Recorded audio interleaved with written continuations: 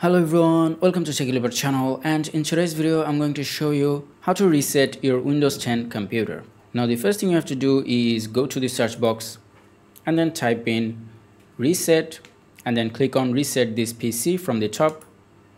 Now in here under recovery you can see the reset this PC option. Now just click on get started. Now in here you will see two options. Now if you select the first one which is keep my files then all the applications and the settings will be deleted but your personal files will be saved. And by those files I mean anything that you have in your C drive and anything that you have on your desktop documents downloads music picture or videos. They will not be deleted. Only the applications and the settings will be deleted. And if you have any other drive anything on those drives will not be deleted either.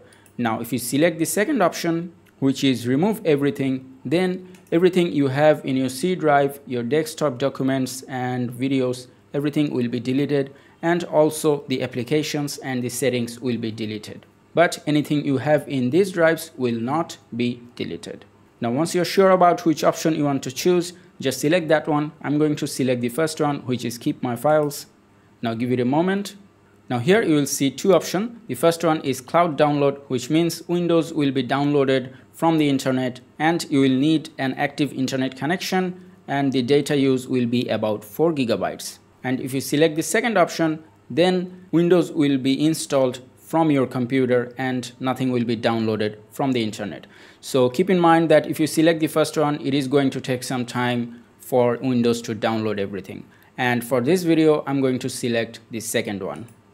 In here, you don't need to do anything and then click on next. Now at this point, you will see what will happen when you reset this PC. So just read everything and once you're sure about that, you need to click on reset. And after that, your PC will restart several times and it will take some moment. So just hang in there and be patient. So now I'll just click on reset.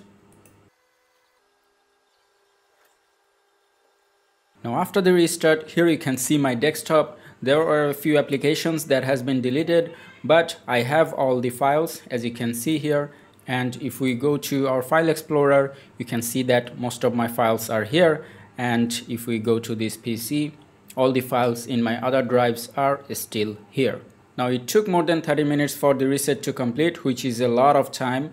Now if you have a USB bootable drive you can just reinstall Windows which will take maybe 15 to 20 minutes max and that is how you can reset your Windows 10 computer with or without losing your data. I hope this video was helpful. If it was, please give it a thumbs up and don't forget to subscribe.